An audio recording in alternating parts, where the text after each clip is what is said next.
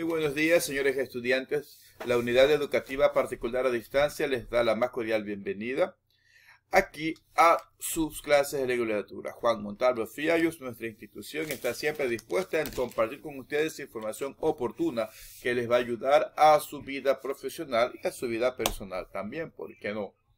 El tema de que iniciamos la clase es, lo que hoy parece un huracán en tu vida, mañana comprenderás que solo era el viento abriéndote un nuevo camino.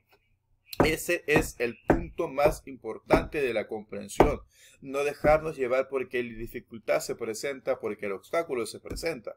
Sabemos que solamente son aspectos de la vida que tenemos que lidiar para llegar a un mejor cometido y obtener las cosas con más esfuerzo. Si algo que no cuesta esfuerzo, pues no significa, no significa nada. Necesitamos nosotros tener claro que mientras más nos esforcemos, más rico se hace cada cosa que obtenemos. Bien, avancemos entonces con la clase de hoy, organizadores gráficos. Este tema es interesante porque muchas veces tendemos a que nos mandan un deber y dicen, hagan un resumen en un organizador gráfico y lo que hacemos es responder tantas cosas en, una, en, un mapa conceptual o en una rueda de atributos, pero en sí no, no podemos organizar la forma de, de la forma correcta.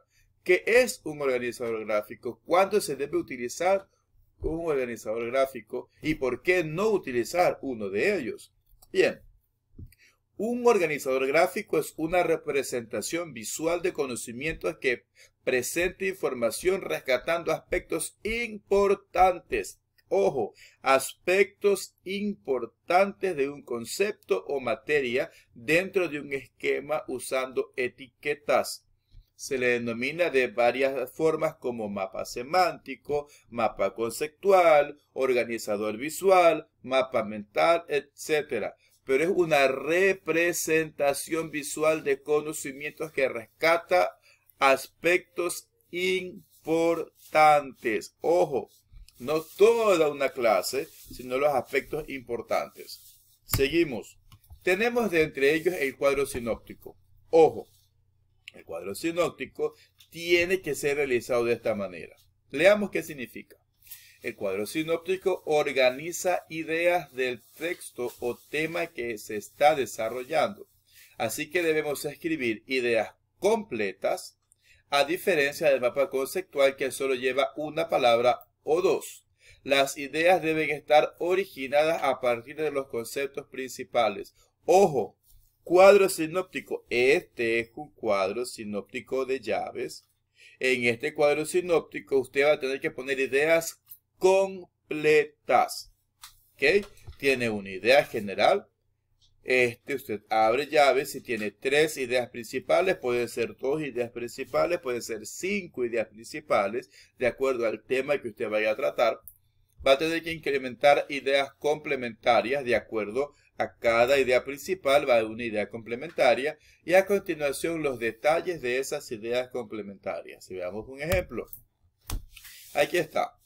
Demostrar que la Divina Comedia al constituirse como una obra de transición no se acerca radicalmente al Renacimiento ni a la Edad Media, sino que puede entenderse como una obra de, de a caballo entre ambas. Nótese. Está dando una idea general completa. Luego pasamos a las ideas que seguía. Idea principal. Tenemos aquí una, dos y tres ideas principales. Tenemos, como ustedes ven, las ideas completas. Una vez que salen estas ideas principales, vienen las ideas secundarias. O, ¿cómo se llamaban? Complementarias. Muy bien. Y aquí tenemos una, dos y tres ideas complementarias. Y cada una de estas ideas complementarias, pues, tienen su detalle. ¿Se dan cuenta? Este es un cuadro sinóptico como debe ser estructurado. Así, de esta manera. Lleva un poco más de palabras, lleva un poco más de conceptos y definiciones. Veamos ahora la línea de tiempo. La línea de tiempo es la representación gráfica de periodos cortos, medianos o largos. Inclusive pueden haber años, lustros, décadas, milenios. Para elaborar la línea de tiempo sobre un tema particular se debe identificar los eventos y las fechas iniciales y finales en, en que estos ocurrieron, ubicar los eventos en orden cronológico, seleccionar los hitos más relevantes del tema estudiado para poder establecer los intervalos de tiempo más adecuados. Tenemos desde, desde el 2000 hasta el 2020 los acontecimientos más importantes en el Ecuador. Perfecto, empezamos entonces, fecha de inicio 2000, fecha final 2020. Y empezamos a, pensar o a buscar cuáles han sido aquellos aspectos más importantes o aquellos sucesos más noticiosos que hayan acontecido durante ese tiempo. Y empezamos a poner, este año pasó tal cosa, en este año pasó lo de acá, en este año pasó lo de acá, y así. 1990, desastre de la Josefina. 2000, eh, llegada del nuevo milenio. 2010, eh, entrada de Rafael Moreno. ¿Qué diga de Rafael Moreno? Rafael Correa. Entonces, dése cuenta cómo la línea de tiempo está marcando sucesos que han acontecido en orden cronológico. Ejemplo. Aquí está el ejemplo de cómo ustedes pueden ponerlo. En el 2000, en el 2010, por ejemplo, pasó que un niño pequeño, sigue creciendo, participó en un concurso, sigue desarrollándose, sigue desarrollándose y sigue desarrollándose hasta llegar adulto. Si se dan cuenta, aquí está la línea explicada de tiempo. Aquí está repetido los años, pero en este caso, en su línea de tiempo, ustedes pueden poner 2000, 2005, 2010, 2015 y 2020. El tiempo que ha sucedido y durante cada espacio de tiempo los sucesos más importantes y relevantes. Bien, Línea de proceso, muy parecida a la anterior, pero en este caso no va orden cronológico, sino va orden de proceso. ¿Ok? Representación gráfica de procesos cortos, medianos o largos. Para elaborar una línea de, de proceso sobre un tema particular, se deben identificar los programas o procedimientos y etapas paso a paso, iniciales y finales, en que estos se suscitan ubicar los eventos en secuencia, seleccionar cada uno de los pasos del tema estudiado para poder establecer los intervalos del proceso completo. Y aquí tenemos el ejemplo. Fabricación de calzado. Desde que se recepta, se inspecciona y se almacena la materia prima, cuando va de corte, el pespunte, el suajado, el montaje, el pegado de suela, el fijado de tacón, el acabado, el empaque y almacén.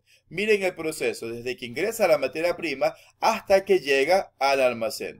Inicio, final. Y a partir de esto empezamos a poner parte por parte, paso a paso de lo que está sucediendo para convertir esta materia prima en un calzado elegante puesto en una vitrina de un almacén. Esa es la línea de proceso. Avancemos. Mapa conceptual totalmente diferente al cuadro sinóptico. En el cuadro sinóptico usted tenía que poner ideas completas. En el mapa conceptual ahora no. Los mapas conceptuales son herramientas gráficas para organizar y representar el conocimiento. Incluyen conceptos, usualmente encerrados en círculos o cajitas de algún tipo y relaciones entre conceptos indicados por una línea conectiva que enlaza los dos conceptos. Conceptos, nada más. Mapa conceptual. Sirve para tal cosa por medio de este y este. Veamos el ejemplo. Cadenas tróficas. Miren lo, lo, lo concreto, lo sencillo, lo, lo, lo, es, lo condensado del mapa conceptual. Cadenas tróficas, tales como productores, pueden ser plantas acuáticas. Estas producen fotosíntesis. Consumidores clasificados en primaria, herbívoros, terciarios, carroñeros, secundaria, carnívoros o descomponedores. Se acabó. Ese es el mapa conceptual tal y como debería de presentarse. Con este mapa conceptual que usted ha preparado y que ha estudiado, usted puede dar un discurso de dos horas, dependiendo del contenido que tenga. Puede resumir dos horas en este mapa conceptual y de eso se trata. Mapa conceptual que solo tenga conceptos. Bien. Ahora, para su tarea, usted va a elegir cualquiera de los organizadores que hemos trabajado aquí. Puede elegir la línea de tiempo, puede elegir el cuadro sinóptico, la línea de proceso, puede elegir el mapa conceptual y usted va a hacer uno de ellos. El tema libre. Usted va a escoger el tema y usted va a hacer en su clase o la investigación que usted quiere hacer la va a resumir en un organizador gráfico ahora que ya sabe cómo usarlo y de qué manera estructurarlo. Pues bien, esa ha sido la clase del día de hoy con ustedes, señores de primero bachillerato. Nos estaremos viendo la próxima semana. Que tengan un excelente día.